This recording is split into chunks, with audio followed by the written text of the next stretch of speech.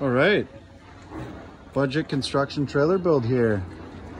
We have a six by 10 by five foot six high Outback Pace American here. Bought it used off an old fellow. It hasn't been uh, towed down the highway very much, but it's been sitting and he's been using it for storage for the last probably six years. Got a little side door here.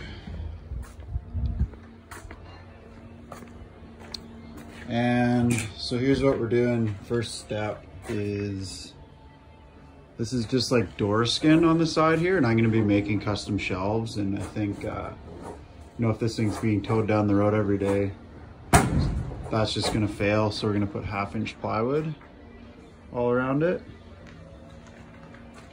The floor here is actually like, looks like standard 5 8 plywood. Yeah, that's 5 8 and then it's just screwed into each cross member but it hasn't been coated or anything under here. So I'm gonna have to protect that because as you can see it's just cupping in between each support. So I think I'm gonna put an additional layer of half inch uh, going the other way to uh, hopefully prolong this baby's life.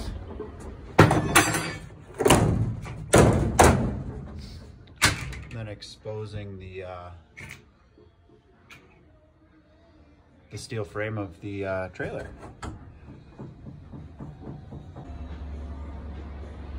All right guys, new floor is in.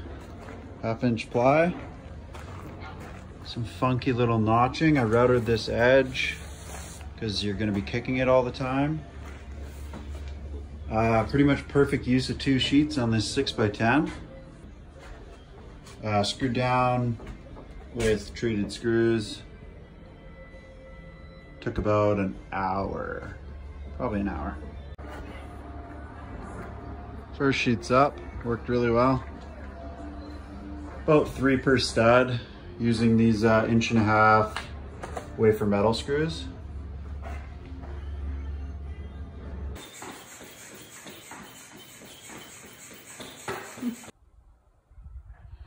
All right, so we're pretty much done the uh, 6x10 trailer build here. Just putting some of the tools in there. Um, haven't got it fully filled in, but we can see where everything goes now. Okay, so there's the table saw stand, spot for it. And then this void here, I'm probably gonna mount battery chargers too and framing squares and whatever else. Um, that's uh, some E-Track that I got from Princess Auto, but 2,000 pounds. So yeah, we should be good. And then you can get all sorts of different attachments. I just got five of these uh, little hooks. So you can put them anywhere.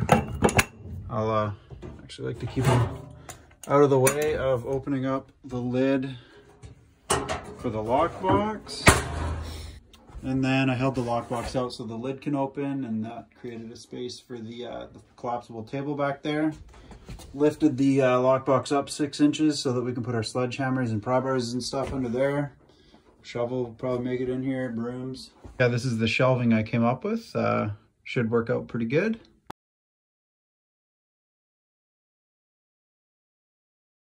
Um, pretty standard levels up there and whatever other long things. Um, I notched this out just so you could grab that and pull it out or else it would be a bit tight. Hammer drill. We got the desk here in the back for paperwork and it's nice just to have a flat surface to, you know, work on tools, get out drill bits, whatever else. Flat spaces are super handy. And yeah, I also wanted room for the, the miter saw stand because again, they're big and they just seem to get in the way all the time unless you have a dedicated spot for them. So yeah, we just got this strapped on there. I don't think that's gonna go anywhere down the road. It's just gonna sit up there. This little cubby is uh, where I put all my fasteners because they just get everywhere and it's a small trailer, so this should keep them organized. Just get all the fasteners there. There's two uh, harnesses up there. Goes uh, all the way to the front. So that's pretty sweet. And then if someone decides to break in through this entrance, they'll probably just get discouraged and most likely enter through the back. All right, here's hopefully the last mod to this uh, used trailer.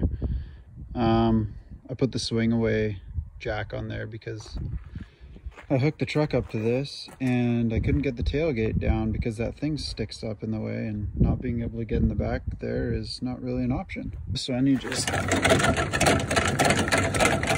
remove it a little,